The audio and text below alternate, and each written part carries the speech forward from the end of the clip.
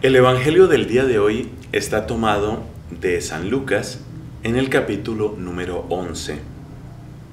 Se trata de una confrontación entre un grupo de fariseos y nuestro Señor Jesucristo. Lo que me llama la atención y lo que quisiera subrayar en esta oportunidad es el juicio retorcido de los fariseos que viendo una obra buena la atribuyen al poder del mal. Cristo, como parte de su anuncio del reino de Dios y de la instauración misma de este reino, expulsa a los demonios. Y entonces comentan los fariseos, si éste expulsa a los demonios, es por fuerza o por la obra de Belcebú, que era uno de los nombres que se daba en aquella época al primero, al principal de los demonios. Expulsa a los demonios con el poder del príncipe de los demonios. Esa acusación, gravísima por supuesto, nos lleva a reflexionar sobre lo que son los prejuicios.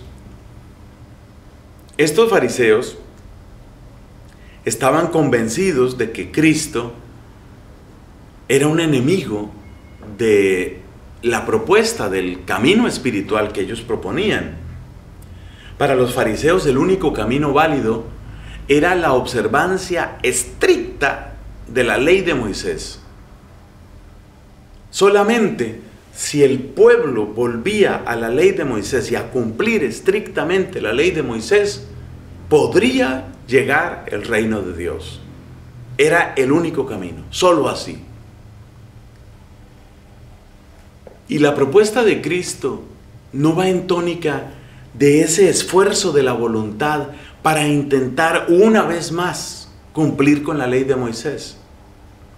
Sobre todo con un agravante, que no era solo la ley de Moisés, sino la ley de Moisés más todas las interpretaciones, las adiciones de las distintas escuelas rabínicas.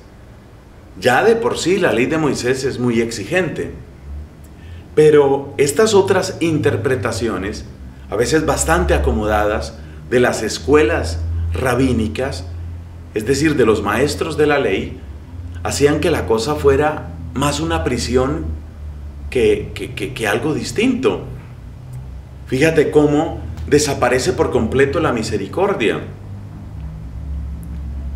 Estaba Cristo curando, por ejemplo, un sábado en una sinagoga y entonces uno de los fariseos dice a la gente, vengan cualquier otro día, pero el sábado no, porque para ellos curar, curar a los posesos, es decir, liberarlos de sus demonios, curar a los enfermos, liberándolos de su enfermedad.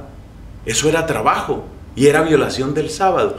Fíjate cómo la mente puede volverse terriblemente estrecha simplemente por el deseo de dominar con la propia opinión, dominar con el propio juicio.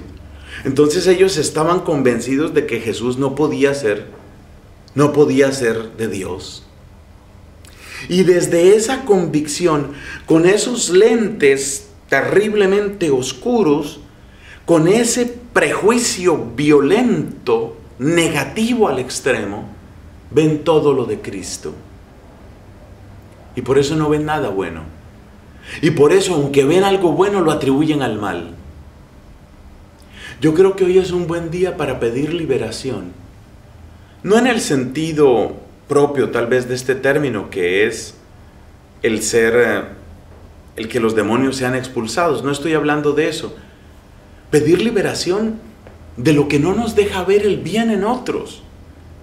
¿Cuántas veces cuando tenemos un enemigo, cuando alguien nos cae mal, nos esforzamos en interpretar de la peor forma posible todo lo que haga, todo lo que diga? Todo es sospechoso todo tiene que estar equivocado, todo tiene que ser perverso, todo tiene que tener segundas intenciones. Y por supuesto, con esa manera tan oscura de ver, no vemos. Cristo dijo en alguna oportunidad, si tu ojo está a oscuras, ¿cuánta será tu oscuridad? La lámpara de tu cuerpo es tu ojo, pero si tu ojo está a oscuras, ¿cuánta será la oscuridad? Por eso hoy es un buen día para decirle al Señor, libéranos, libéranos de prejuicios, libéranos de nuestras cárceles, abre nuestro pensamiento, déjanos experimentar tu luz.